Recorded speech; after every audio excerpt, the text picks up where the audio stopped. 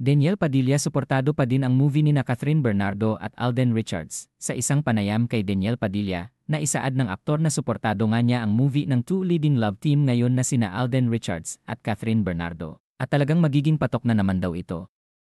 Hindi naman lingid sa kaalaman ng marami na maraming mga projects din si Daniel Padilla na paparating ngayon, lalong-lalo na ang kanyang recent serye na malapit nang mapanood sa telebisyon ang incognito na mapapanood niya daw sa primetime. At talagang inaabangan na din ng kanyang mga taga-suporta. Marami ding mga nagtatanong kung anong magiging role ni Daniel dito at kung sino ang kanyang makaka-love team nga dito. Ngunit sa hindi pa malaman nga ng marami kung sino ang kanyang makakatambal dito, ay parang may mga magigest lang na mga leading lady niya pero hindi niya ito makaka-love team sa serye. Ngunit sigurado ang appearances ni na Richard Gutierrez, Maris Racal, Kayla Estrada at marami pang ang iba.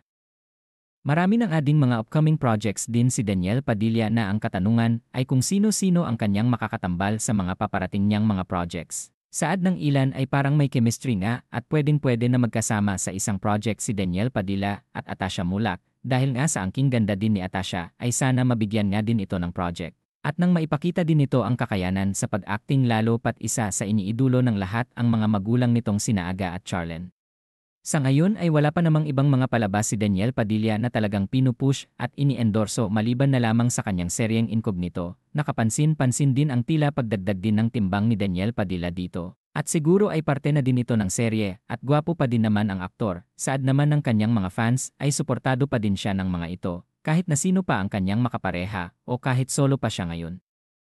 Nalalabas sa mga proyekto niya ay wala namang magbabago sa pagmamahal na ibibigay sa kanya ng kanyang mga fans.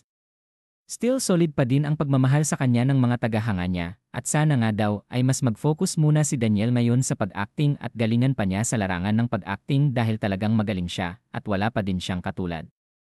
Marami naman ang excited niya sa pagbabalik ni Daniel Padilla at marami din naman ang nakamiss sa kanya at masaya pa din ang Katniel fans sa bawat achievements at projects na nakakamit nila ngayon kahit hindi na nga sila. At malabo na ding magkasama pa.